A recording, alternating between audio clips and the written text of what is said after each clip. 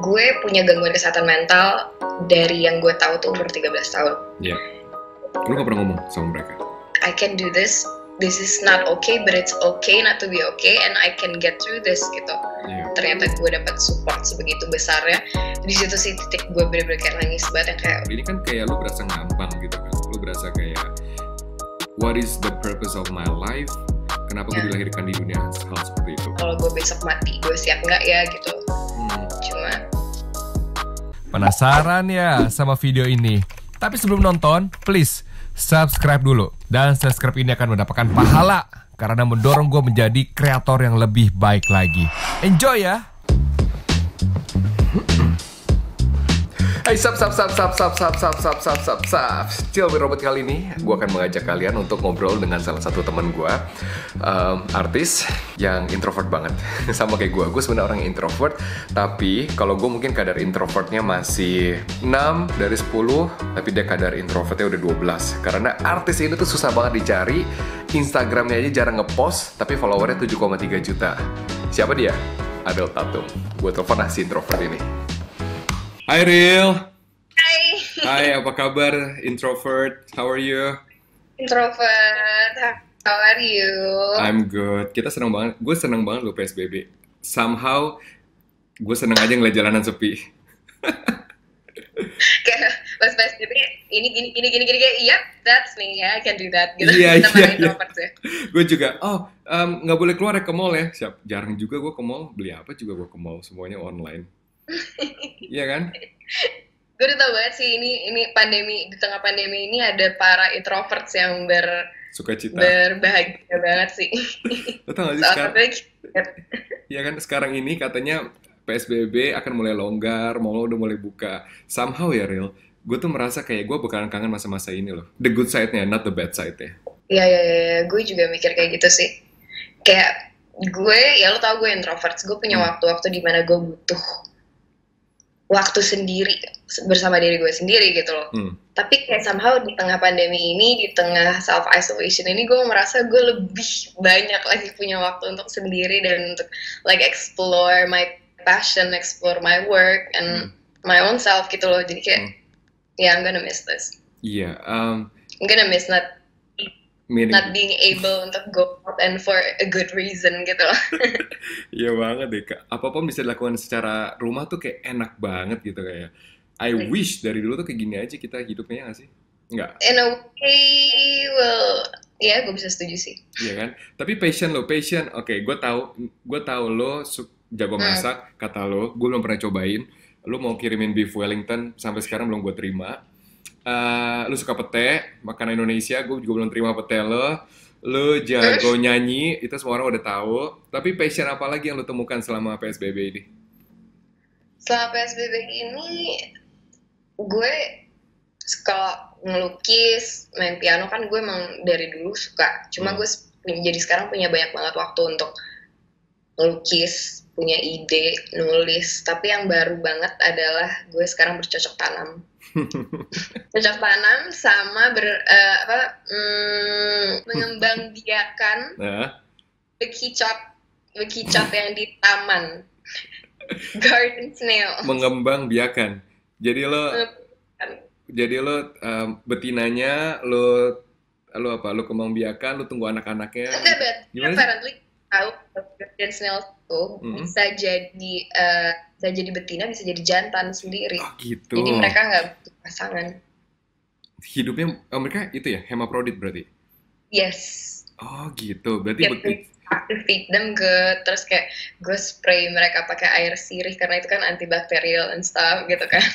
Soalnya, soalnya nih gue gue ceritain backstory-nya sedikit Hmm. ya. Backstory-nya adalah gue punya adik ekstrovert. ya. Dia udah mulai jenuh banget ya kan. Hmm. Udah udah tiga minggu lebih di Hmm. rumah nggak ke mana-mana. Jadi Hmm. gue kayak constantly cari aktivitas apa ya Hmm. yang bisa jadi distractions dia biar bisa jadi quality time kita bareng-bareng juga. Hmm. Terus salah satu dari kita came up with the idea, eh garden snails tuh ternyata bisa dimakan loh gitu. Sedangkan garden snails tuh bener-bener di rumah gue banyak banget gitu. Hmm.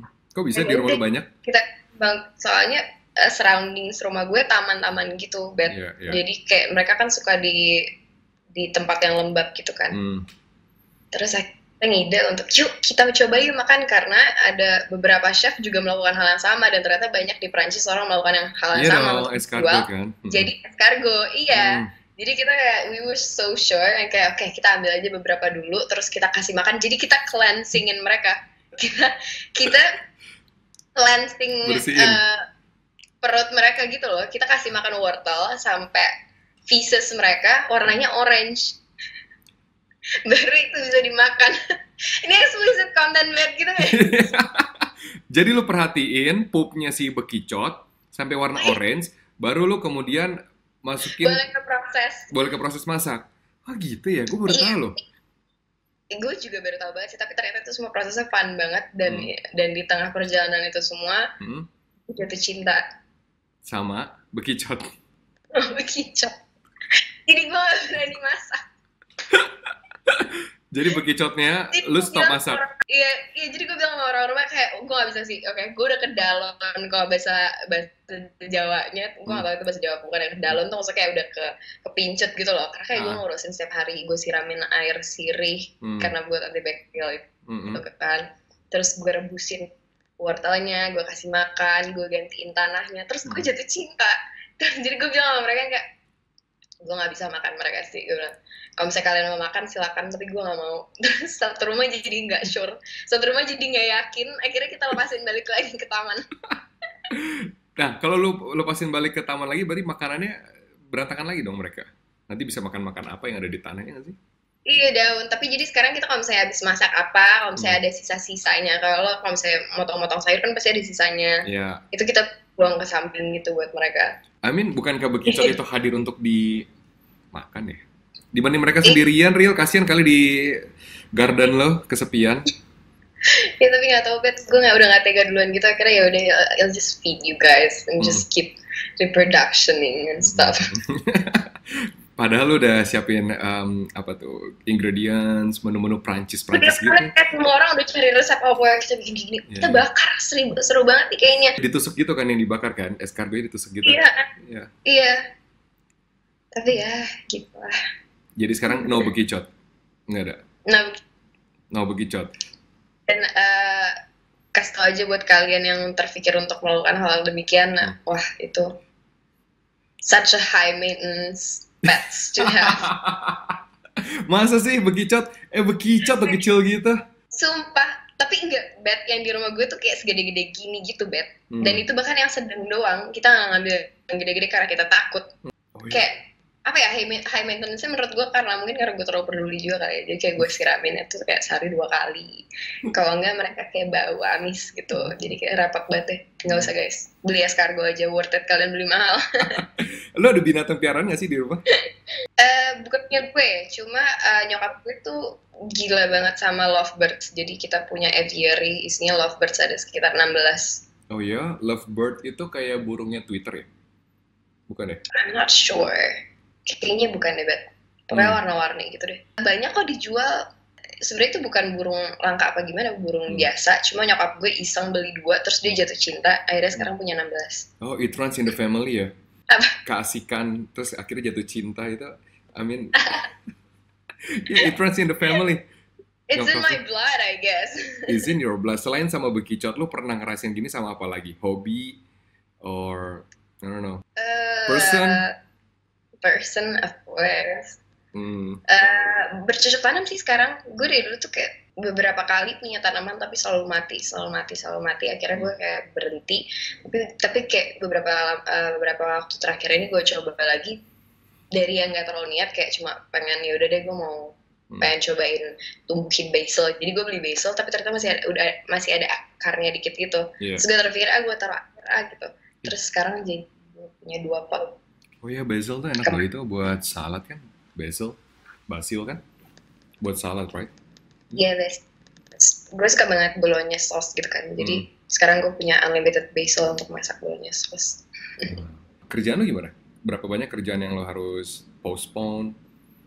Untuk Mostly- yang di pun banyak banget. Yang pasti harusnya tahun ini early years, early in the year gue harusnya udah banyak kampanye let's end the shame ke sekolah-sekolah, Iya. ke kampus, ke perusahaan untuk eh, bantu mengedukasikan pentingnya kesehatan mental tapi harus terpaksa ke postpone Hmm. Sep- drop sih gue karena kayak gila apa kita udah kayak nge, nge- merencanakan ini berbulan-bulan gitu tapi benar-benar nggak bisa dilanjutkan tapi untungnya abis itu ada lagi kesempatan-kesempatan yang ternyata sama luar biasanya Apa? Jadi sekarang kerja sama sama Instagram I know, real talk, right? Yes, Iya. terus selain itu yang menurut gue it was such an honor adalah jadi Instagram kasih gue fitur baru Mhm. di page gue di account gue, Only for you. Mm-mm. di mana ketika lo akses fitur itu lo bisa tahu semua uh, penjelasan tentang tema-tema yang gue save gitu. Oke. Namanya wellness guides. Jadi kalau misalnya kalian buka Instagram gue, di situ ada di antara posting IGTV dan tag Iya. di situ ada satu fitur lagi ketika lo buka di situ ada penjelasan gue tentang misalnya apa sih kesehatan mental dan ketika Hmm. lo klik di situ semua langsung ada postingan-postingan seputar hal itu gitu jadi lo nggak usah cari-cari ribet lagi ke mana ya cari yang yang eh, bener gitu loh Oh, oke. Source-nya. Ini gambar buku itu ya? Yang um, apa namanya? Yang ini kan yang gambar buku itu kan? Yang ini bukan? yes Iya kan? Oh, jadi Iya, stop sebarkan energi ne- negatif. Terus ini yang lu pilih secara khusus ya? Oh, ini yang lu posting, lu sendiri atau lu ngambil punya orang terus lu posting, reposting? Aku posting sendiri dan yang gue pilih dari orang orang-orang lain kalau misalnya lo klik Mhm, ada beberapa postingan kan mhm. Jadi eh, gue dan Instagram bertujuan untuk eh, pengen mempermudah akses kalian lah mhm. untuk mendapatkan informasi yang tepat gitu. Oke, Um, tapi lu into banget ya sama isu ini. Um, kita kan pernah ngobrol ya, kalau memang lu pernah depresi, lu pernah ngalamin bullying hingga sampai sekarang, nggak ngerti lagi apa yang mesti dibully dari lu, karena lu termasuk, gu- gua search di Google, real, lu percaya gak sih, lu, lu, do you search yourself on Google or not? Now, No, at all. Nah. At all. kayak beberapa kali untuk kayak kalau misalnya gue habis eh, eh, undang wartawan kayak untuk acara seminar gue terakhir kali gue buka. Hmm. Jadi gue ngecek mereka udah posting apa belum, udah kesebarkah beritanya yang Oke. gue mau beritakan gitu. Oke, tapi lu Kenapa kenapa lo searching gue apa? gue searching lo, misalnya gue tuh searching gitu, apa sih um, Ariel nih lagi up to um, something gitu kan. Tapi yang berita yang gue temuin tuh selalu mengenai fisik lo, yang lo katakan salah satu penyanyi tercantik di Indonesia, ya. Dan yang kedua itu mengenai, um, well, hmm, gimana ya cara gue ngomongnya ya?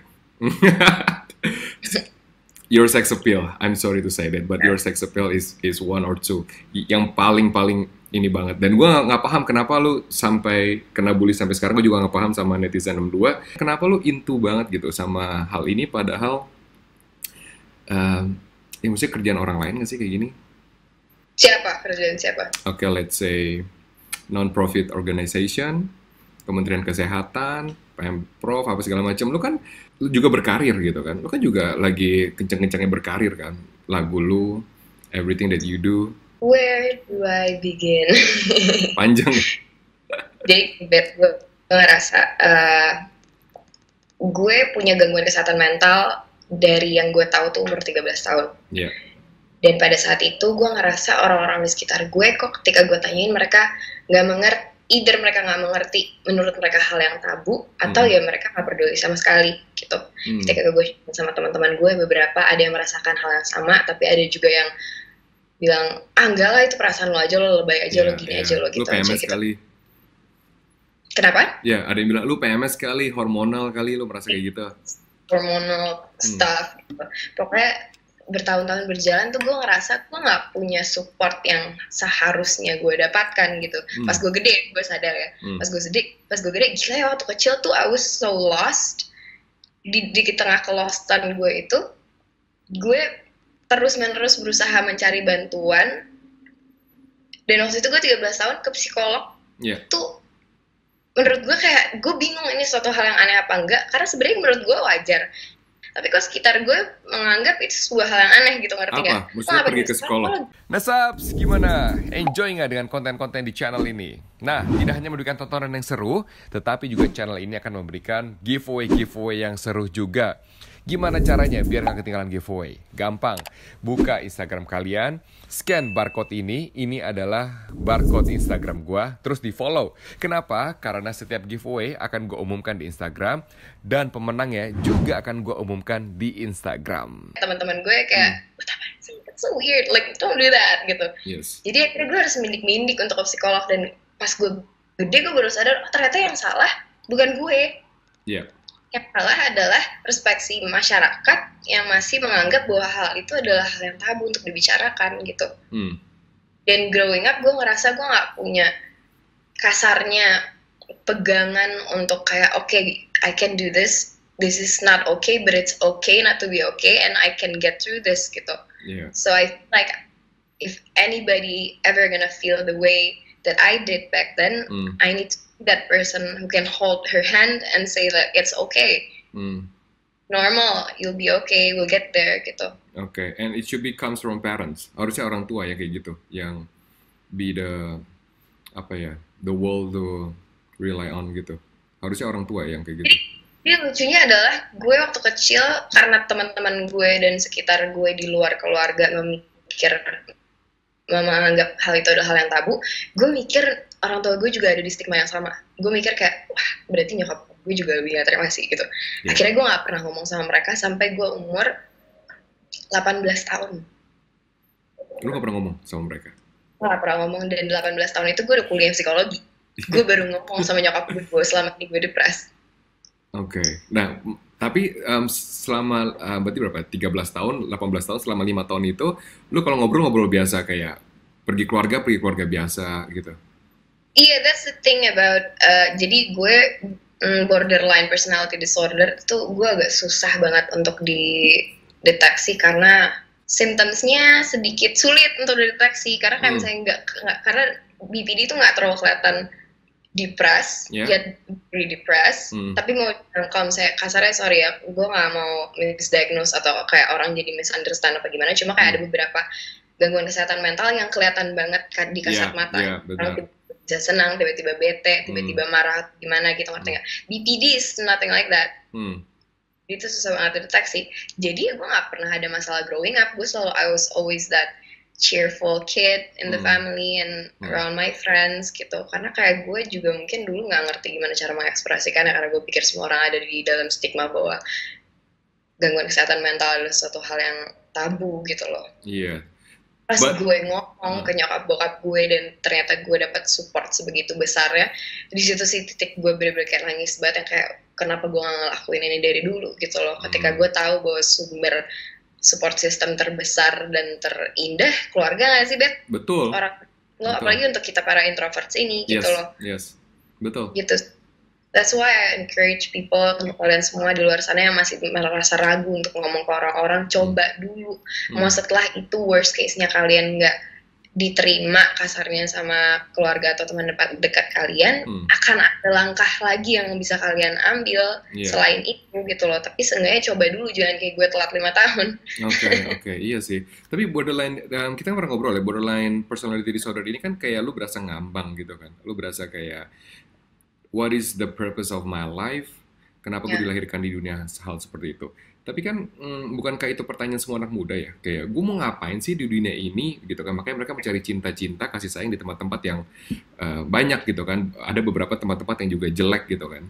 Tapi bukankah itu masalah anak muda? I mean, how to differentiate from disorder and exactly Hmm. sebenarnya hampir semua kesehatan mental itu basicnya nggak kelihatan sih bet karena kayak misalnya mood disorder ya udah sih moody semua orang juga moody Yes. misalnya yes. sensitif ya semua orang juga sensitif atau kayak ya lagi PMS aja kayak tadi lo ngomong gitu Iya, iya. atau kayak udah kenapa sih oh mungkin gue lagi sedih oh mungkin gue mau gini gini gini gini Hmm. cuma gimana cara bedain when we need help adalah ketika itu semua udah mengganggu keseharian dan produktivitasan lo gitu ngerti ya di pada saat pada saat gue umur 13 tahun itu I could barely wake up in the morning I could barely work Males I aja. could do little things karena I feel so depressed it's hard to explain gitu kayak gue ngerasa gue hidup tapi gue nggak bisa berfungsi gitu Oh, jadi iya? kalau misalnya lo tanya gimana cara kita membedakan karena it sound like something that's normal for Yeah. everyone ya bedanya ketika itu udah mengganggu banget kehidupan lo.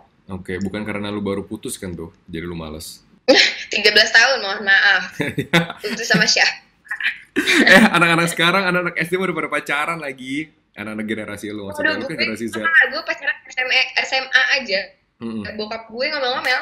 Iya, kenapa? Pacar pertama gue, dia ngomel-ngomel. Dia, dia ngomel-ngomel ke lo atau ngomel-ngomel ke ke mantan lo? ngomel-ngomel ke gue, Hmm. terus kayak bener-bener judes banget gitu. Terus kayak ngomel-ngomel ke keluarga gue, nanya kayak, normal gak sih? Wajar nggak wajar kan? Masih terlalu kecil kan? Kayak, ya wajar sih mas, kayak emang udah umurnya. Enggak, menurut gue enggak. Iya, iya, iya. Berarti, iya, berarti sayang banget sama lo. I mean, itu sih semua orang juga kayak gitu sih, gue rasa anak perempuan. Iya, jadi ya bukan patah hati waktu itu ternyata emang beneran depres, tapi ya misleading karena kayak semua orang sekitar gue bilang, Hmm. ah, enggak, enggak, enggak, udah terlalu baik gitu. Iya, tapi sekarang gini, um, pertanyaan gue adalah kenapa lo mesti jadi wajah campaign itu? Why you have to be the face of this issue? Maksudnya lo kan bisa kayak lo bisa donating ke organisasi atau lo bisa I don't know banyaklah cara-cara dari public figure kan mensupport satu campaign. Tapi lo kan you are the face of mental health in Indonesia right now. Ya kan? Kenapa lo mau maju gitu lo ke depan? Why? Why should be you? Gini, gue ngerasa bertahun-tahun orang selalu up on my business. Gue ngerasa apa pun yang gue lakuin, orang selalu punya komentar, orang selalu punya pendapat, orang selalu punya hak untuk bersuara akan hidup gue. Iya.